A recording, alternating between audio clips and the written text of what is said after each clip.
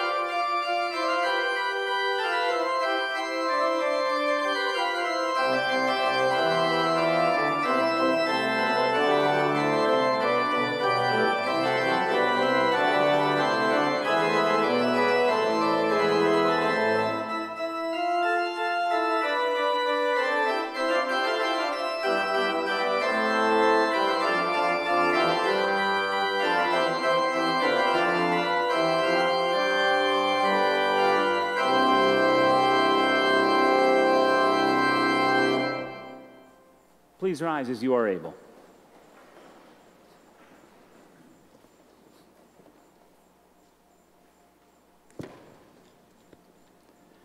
We worship in the name in which we baptize, in the name of the Father, the Son, and the Holy Spirit. Amen.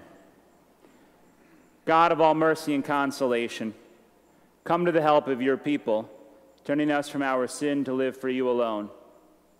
Give us the power of your Holy Spirit that we may confess our sin, receive your forgiveness, and grow into the fullness of Jesus Christ, our Savior and Lord. Amen. Let us pause for reflection as we together confess our sin in the presence of God and of one another.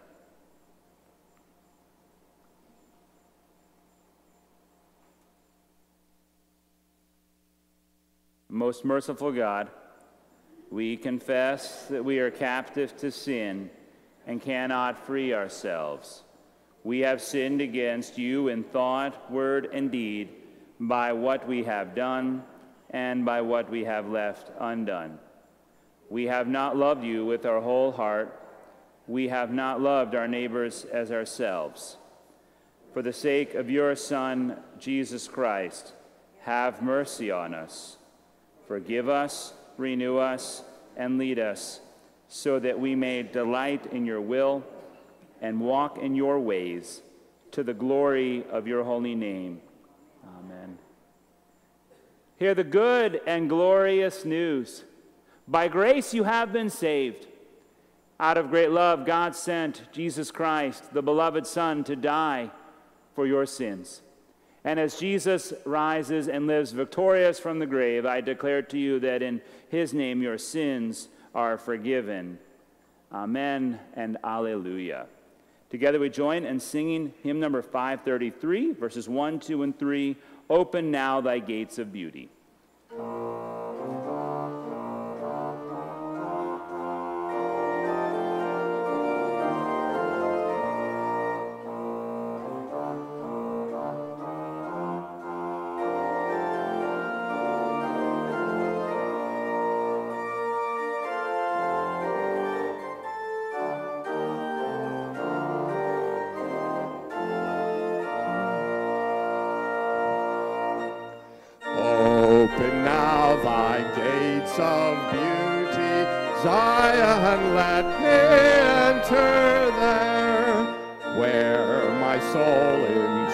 Joyful duty waits for God who answers prayer.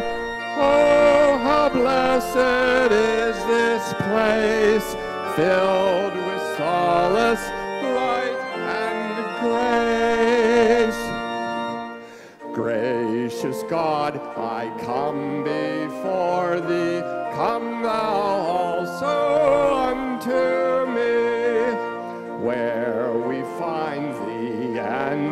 Adore thee.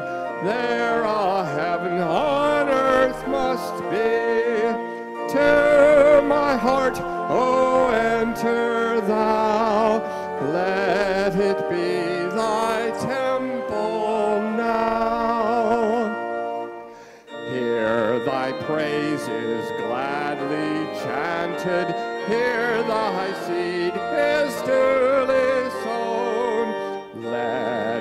Soul, where it is planted, bring forth precious sheaves alone, so that all I hear may be fruitful unto life in me.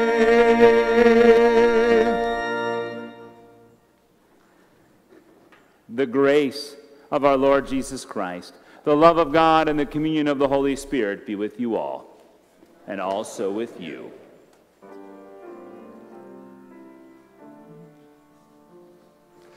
Kyrie eleison, Lord have mercy.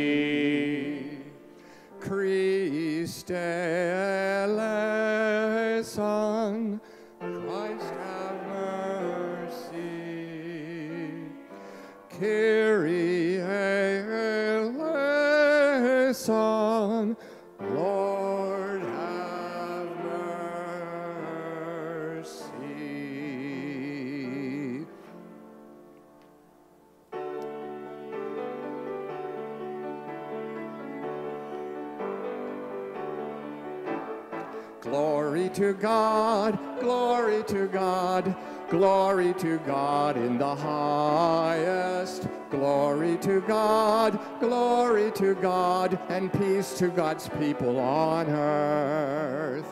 Lord God, heavenly King, almighty God and Father, we worship you, we give you thanks, we praise you for your glory. Glory to God, glory to God, glory to God in the highest. Glory to God, glory to God, and peace to God's people on earth. Lord Jesus Christ, only Son of the Father, Lord God, Lamb of God, you take away the sin of the world.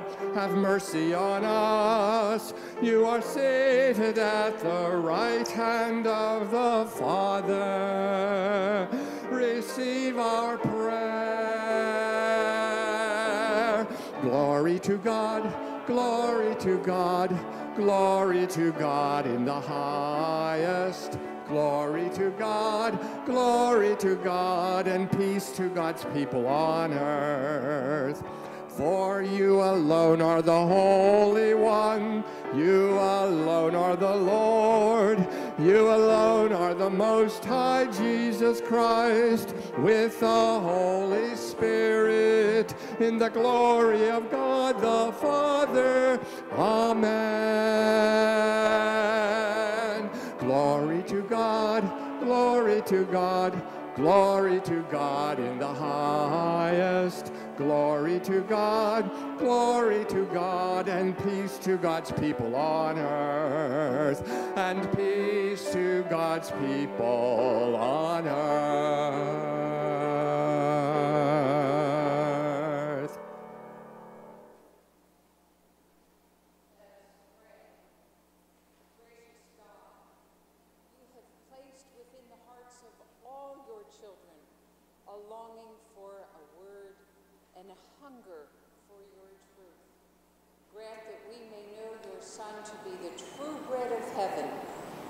Share this bread with all the world through Jesus Christ, our Savior and Lord. Amen. You may be seated for our reading.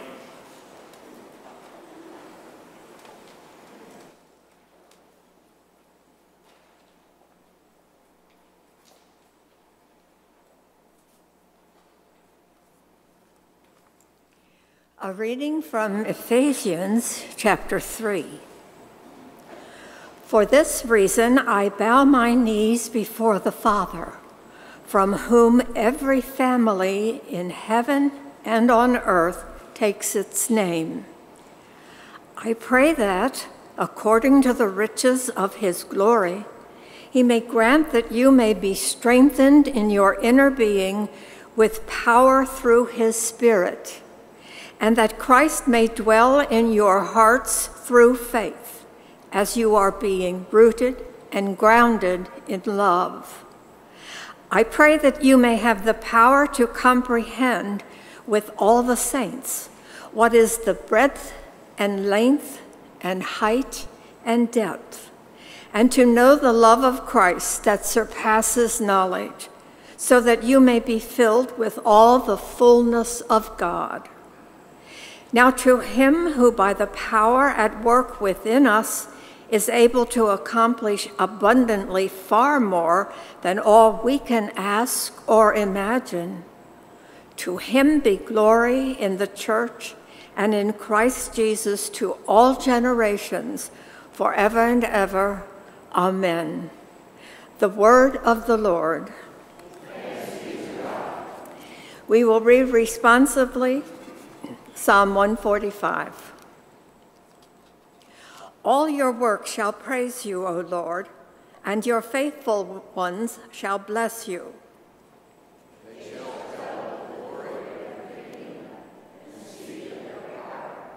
That all people may know of your power and the glorious splendor of your kingdom.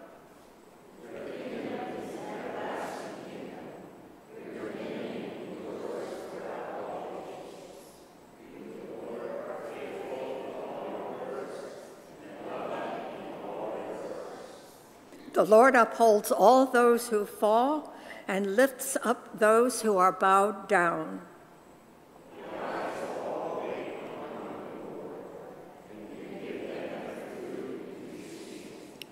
You open wide your hand and satisfy the desire of every living thing.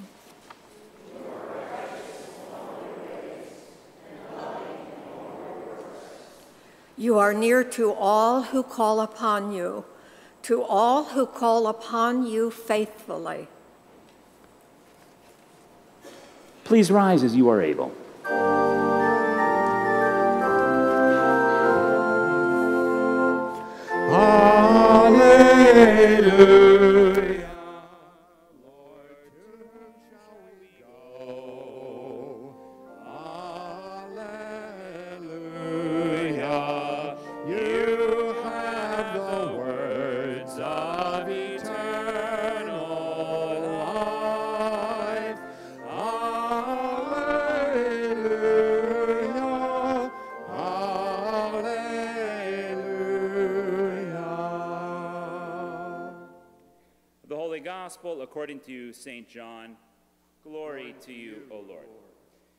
Jesus went to the other side of the Sea of Galilee, also called the Sea of Tiberias, and a large crowd kept following him because they saw the signs that he was doing for the sick. Jesus went up the mountain and sat down there with his disciples. Now the Passover, the festival of the Jews, was near. When Jesus looked up and saw a large crowd coming toward him, Jesus turned to one of the disciples, Philip, and he asked Philip, Where are we to buy bread for all these people to eat? Jesus said this to test Philip, for Jesus himself knew what he was going to do.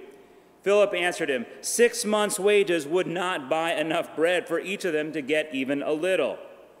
One of his other disciples, Andrew, Simon Peter's brother, said to Jesus, There is a boy here who has five barley loaves and two fish, but what are they among so many people?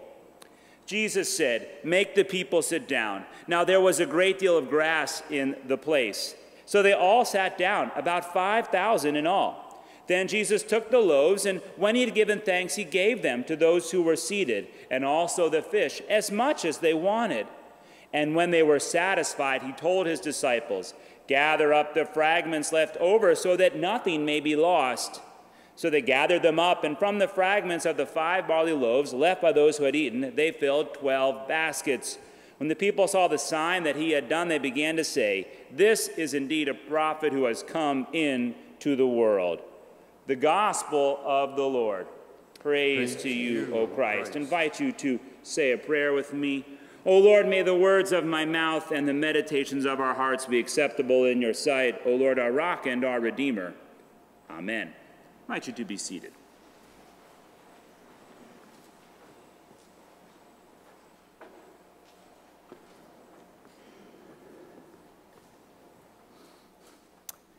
It might be easy for us to judge the ridiculousness of Philip's statement. For Jesus has said to Philip, You need to feed these people. And the response of Philip is to say, There ain't enough money here to do this. There isn't enough, Jesus. Likewise, Andrew, another disciple, reports that, well, there is a little bit of something, five loaves and two fish, but that is also not enough. And there's a sort of a ridiculousness that the disciples are looking at Jesus, the one in whom all things in the universe came into being, and they're saying, We don't have enough. Uh, it's it's uh, to the point of being laughable. It's so absurd to look at Jesus and tell Jesus that there isn't enough. Again, it would be easy for us to criticize and even judge Philip and Andrew for the failure of their faith, to see that they were living and they were walking with, beholding the one in whom there is always enough. But truthfully, I think many of us at points in our lives find ourselves offering the same confession, the same statement that there does not seem to be enough. This last week on, on Tuesday, I was walking uh, from my house to the church, and, and I just felt like everything had an orange tint to it, as if I was sort of looking at life almost through like an Instagram filter. Like everything just seemed orangey and, and I kind of wondered, am I going crazy? But then I realized it was no, it was from the, the forest fires in the West.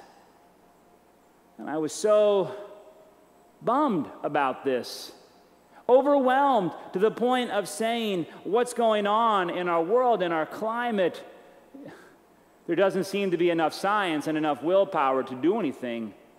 And again, I found myself saying, There doesn't seem to be enough. When I think about what's happened at, at so many churches right now, and I, and I, think about so many churches in our area as they, as they struggle, again, we at St. Paul, we're really healthy right now. But I think of how many are struggling, and, and I think about the rising secular presence in our culture, and, and I say, there doesn't seem to be enough. There doesn't seem to be enough. I could give other examples too of, of other problems in our culture where I look at what's going on and I find myself sighing and saying, there doesn't seem to be enough. But it's not just about these big, grand problems where I'm forced to confess that there's not enough as it seems. But I think on a more haunting and personal level, I think we begin to say these words. I was speaking with somebody this week about their business, and, and now they're at the point where they've, they need to bring back their employees. And they're trying to figure this out, right? Some people want to come back, others don't. Many are vaccinated, but not everyone. Some partners really want them to move ahead, others are happy with everybody working at home. And it's this sort of this grand mess. And in those situations, we think about the change in everything and how we all deal with what has happened. And I think many of us find ourselves saying, not just there's not enough, but I'm not enough. I think that the last year has been hard on many of the relationships in our families. In between the generations, and I would even say, yes, within marriages, as the social and sociological and psychological toll of the last year wore on. And I think many of us have found ourselves in our own home, in our own family, saying, I'm not enough. I could go on to the various other situations grief, anxiety, addiction, just whatever it is. And I think we all can admit that we have found ourselves at some point saying, I am not. I am not enough. But then comes riding in on a white stallion the gods of self help. And the gods of self help tell us we just need to look in that mirror, pound our chest, and say, I'm enough. And if we just say it enough and we put it enough on all of our social media feeds, then we can finally be enough for this world. And we can do all that we thought we were supposed to. I'd like to suggest that that is a grand lie that we are, in fact, enough on our own.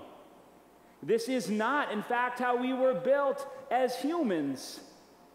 This is not how we were built as humans, and we tend to quickly forget this.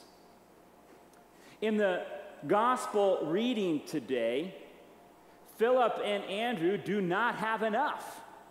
They lack the bread and they lack the faith. But you see, but you see somebody, somebody who didn't have enough to feed everybody, somebody who wasn't enough, somebody brought something to the table. They brought their five loaves and two fish. And it, and it turns out that we may not be enough, but we can bring something to the table. And when we bring something to the table, then, then God can do something great and miraculous with it. Again, our challenge as humans is not to be enough on our own independent self sufficient, but rather to bring to the table what God has given us.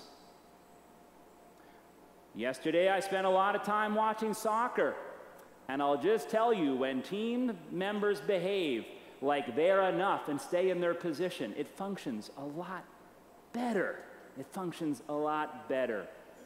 But I, I, wonder why it is, again, that in our culture we would so believe that we need to be enough, totally independent. And I think it has something, again, to do with the way in which we celebrate the individual. This is something deep within our American psyche to celebrate the individual. And I'm not even going to uplift contentious recent social issues, which would highlight this. I'll let you preach that sermon to yourself. But instead, I, I want to bring up sort of a, an easy example of this. A few years back, there was a man who set a record for the fastest marathon. And in fact, he ran the whole marathon, every single mile, he ran in under four minutes. Just, I mean, again, most of us couldn't do 100 yards at a four minute pace, but he ran 26.2 miles at an under four minute pace. Really incredible. And so you, you, look at the stories online or in the papers, and it shows this, this one person in really colorful clothing crossing the finish line, and he did it. Well, it's more complicated than that, and it's a lot more interesting. It turns out that he didn't do it alone. Not only did he have a family and trainers and supporters and all this, but every single mile that he ran, there were 26 people 26 others who ran for one mile with him. And their job was to just keep the pace at under four minutes. All they had to do was run their one mile. So that guy didn't have to think the entire race about how fast he had to run. They just ran their four, mi- four minutes. See you later. Next person, four minutes. None of them on their own could have done the 26.2. But you see, they all had to work together. They all brought something to the table. They all brought something to the table. Again, we live under this cruel myth that somehow we've got to do it all on our own, that we have to be enough. But this isn't what life actually is all about. And it's not what the Gospels proclaim to us. The Gospels again and again show that what we're called to do is not pretend that we're enough, but bring to the table, bring the five loaves and two fish that God has given us. This last week, we really have gotten serious on, as a staff, about planning for the fall at the church, and we're getting very excited. And, and one of the things that's going to be different this fall is not just what we can do, but who can do it. And we're so excited to sort of really try to encourage and, and bring back and celebrate the volunteers at this church.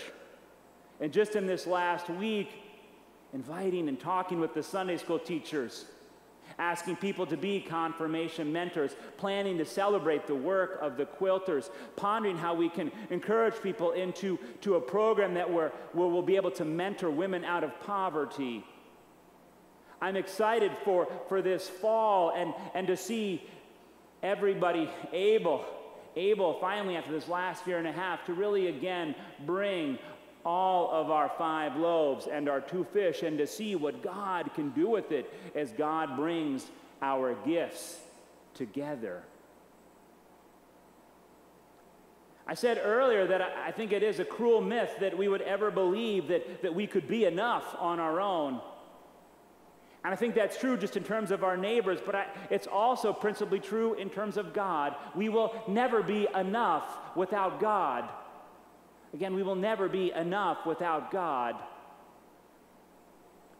It turns out that we do not have to be enough because Jesus is enough. Again, Jesus is enough to take what we can offer and transform it into something bigger and more beautiful, to multiply it.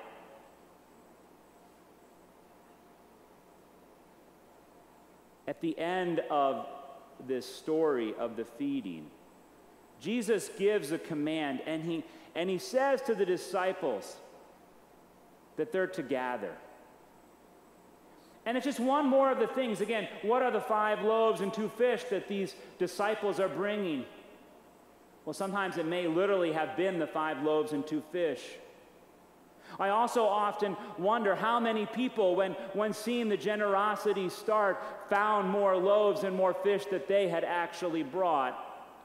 And I was younger, I sort of thought this was a theological cop out that somehow Jesus just encouraged sharing rather than just multiplied food. But as I got older, I think that actually encouraging humans to share is more difficult than making bread out of thin air for God. But yet again, everybody is doing their part. Some are obeying, some are organizing, some are gathering, they're praying, they're listening.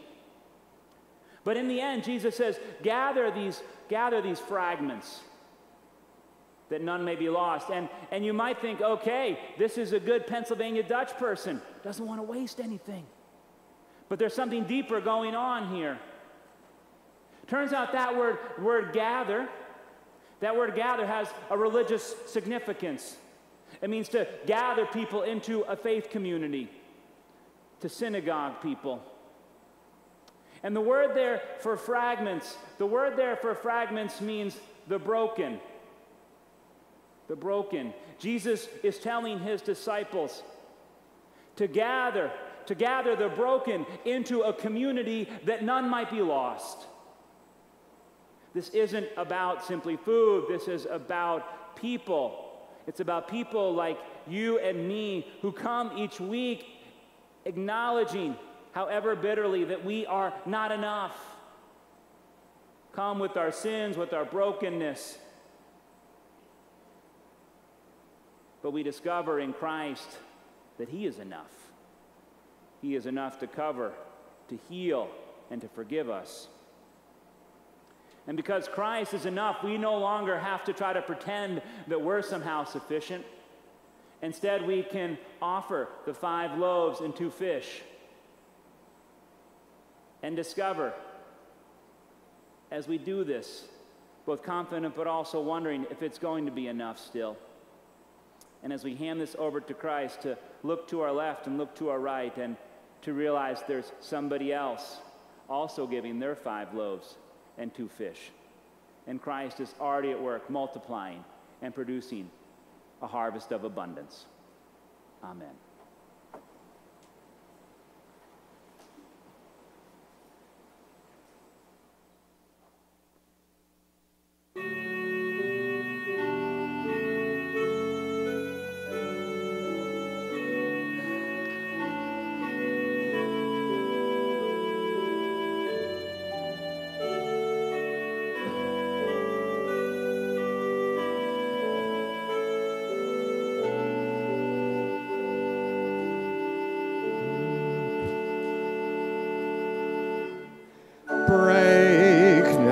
The bread of life, dear Lord, to me. As once you broke the loaves beside the sea, beyond the sacred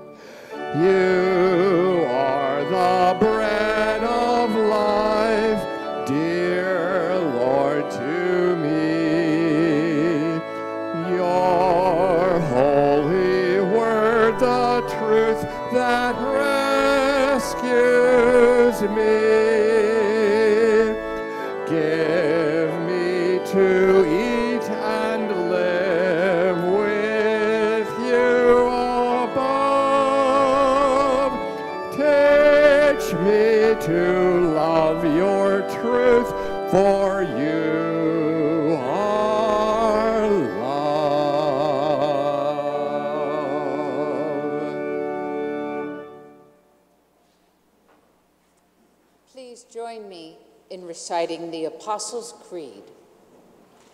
I believe in God, the Father Almighty, creator of heaven and earth. I believe in Jesus Christ, God's only Son, our Lord, who was conceived by the Holy Spirit, born of the Virgin Mary, suffered under Pontius Pilate, was crucified, died, and was buried. He descended to the dead. On the third day he rose again. He ascended into heaven. He is seated at the right hand of the Father, and he will come to judge the living and the dead. I believe in the Holy Spirit, the holy Catholic Church, the communion of saints, the forgiveness of sins, the resurrection of the body, and the life everlasting.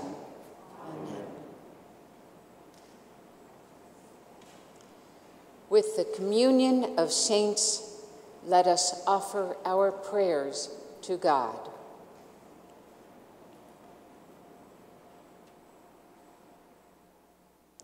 Gracious God, your Son fed the 5,000, which was a miracle to the needy and a sign of his power. You feed us today through your word and sacraments.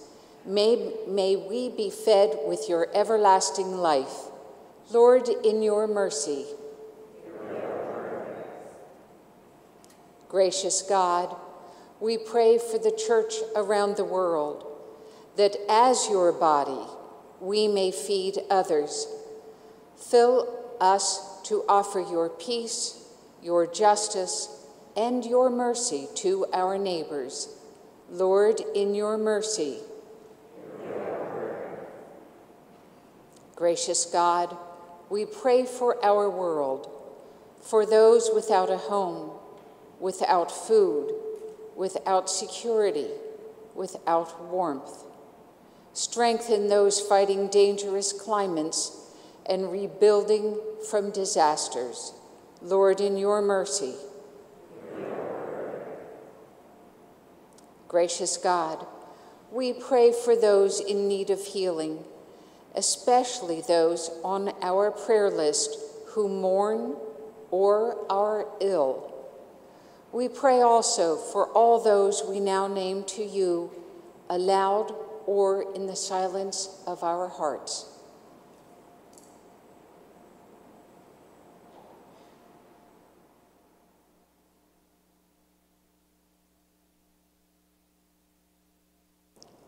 Lord, in your mercy,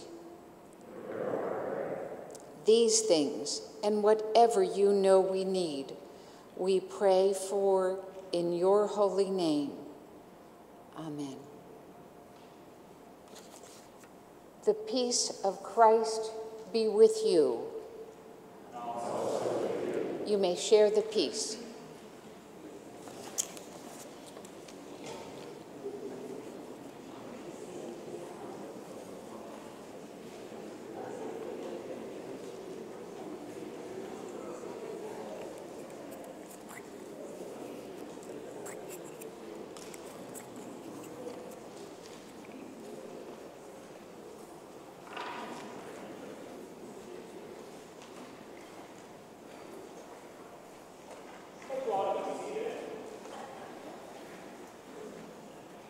There we go. Just some uh, few announcements.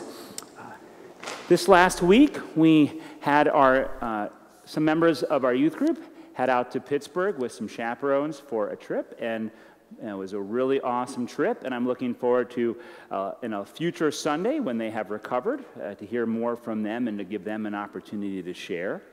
Uh, we also had uh, 15 of our church members this week at the Lutheran camp, so that was really exciting.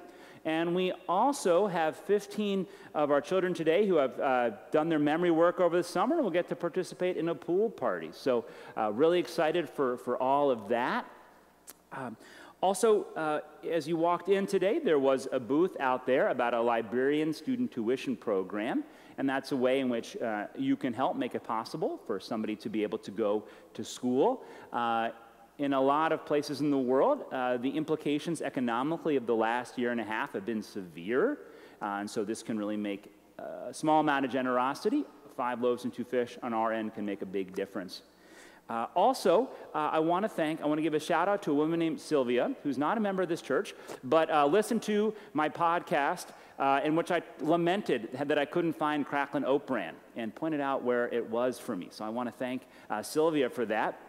But we've been having uh, a lot of fun with that. Uh, I think we've discovered a format that seems to really be uh, connecting with people, uh, and so we're going to keep uh, going uh, with that. But again, thanks for permission to try this new kind of pod and pub format. Uh, lastly, we're, we're hoping at the end of the summer, uh, early in the fall, to welcome a, a, class of new members. And if that's, I know some of you have already contacted the church office, but if you're interested in that, again, just contact the church office and then we'll get a, get a hold of you as we're uh, drawing that class together. I thank you for all of your financial support that allows us to, to subsidize and to make uh, youth mission trips and other things possible. And so, with that, I invite us all to rise as we present our gifts. Mm-hmm.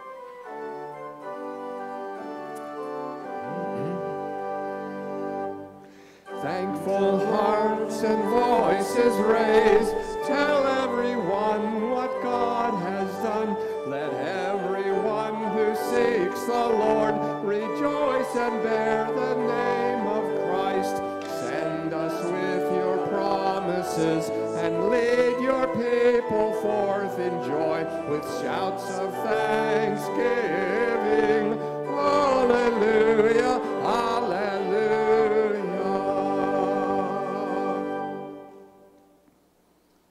Let us pray together. Jesus, bread of life, you, have set this table with your very self and called us to the feast of plenty. Gather what you have been sown among us and strengthen us in this meal. Make us to be what we receive here, your body for the life of the world. Amen. The Lord be with you, and also with you. Lift up your hearts. We lift them to the Lord. Let us give thanks to the Lord our God. It is right to give our thanks and praise. It is indeed our duty and our joy that we should at all times and in all places offer thanks and praise to you. And so, at the church on earth and the hosts of heaven, we join their unending praise.